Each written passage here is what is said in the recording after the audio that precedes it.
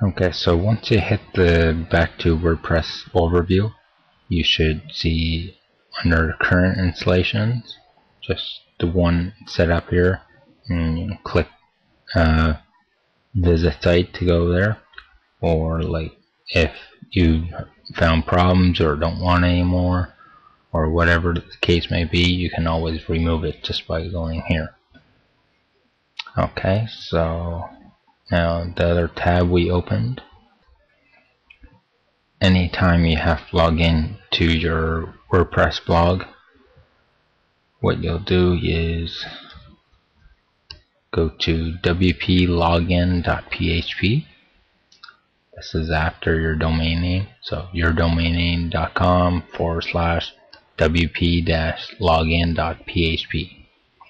So normally I have a um, program set up. It's RoboForm that saves all my passwords for me.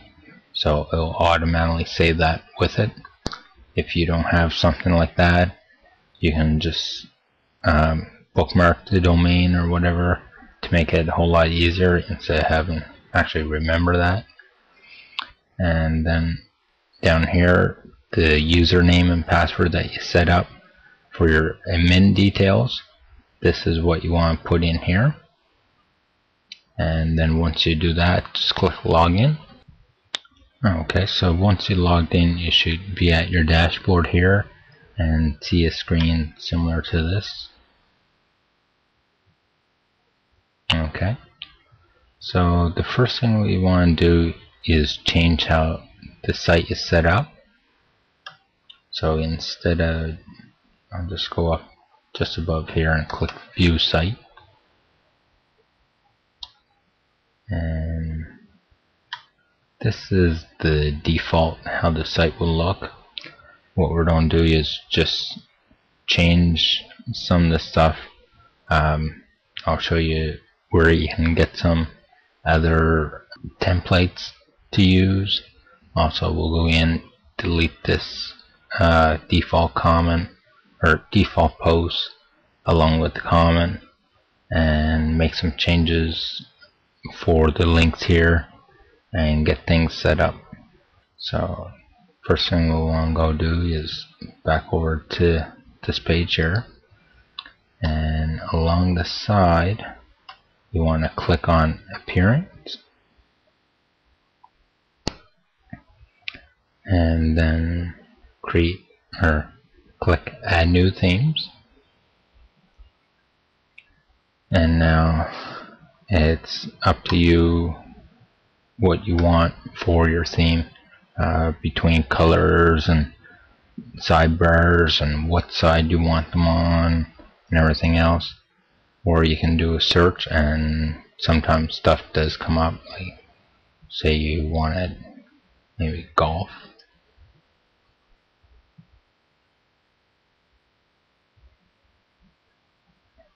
and one will come up. Um, some of them have stuff in there. Um, you can also just do a search on Google and you can find a whole lot of free themes that way. Um, for this one here, um, just gonna go back for a second.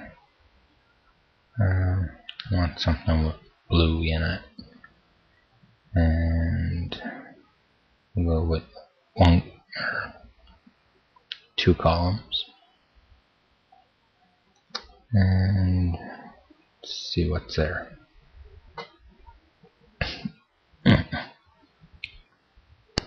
Okay. Now we can just scroll through and see something we like.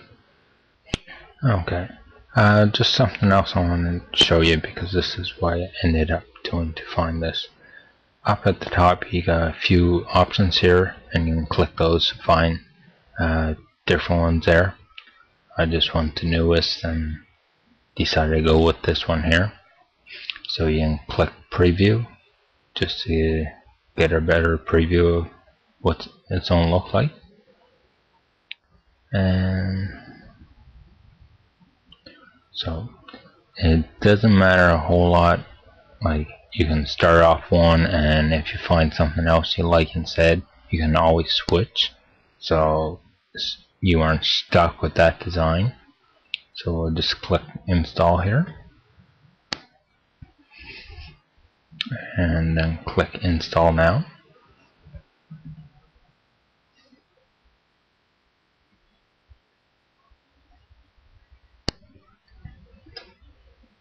click activate. Okay. Now if we come to the site and hit refresh now you'll see it set up. So once we've done that we want to come over and go to over the side again click on post we want to delete this default post. So just go delete. Okay. Next go into categories. And in here you'll see you can add a category over here. And here there's a default category of uncategorized. I don't like having those so we'll just click edit. Now it's up to you. You can leave it but it's my preference to get rid of it. Um, this one I'll just um, and video and the category slug just put same thing as category name it just helps for like search engine friendly type video and then go down and click update category. And so my default category will be video. Um, depending like if you're in the golf niche you can put golf or golf training or whatever your uh, default topic should be around put that. So once we've done that now come over and add a few other dom or few other categories. So one on domain name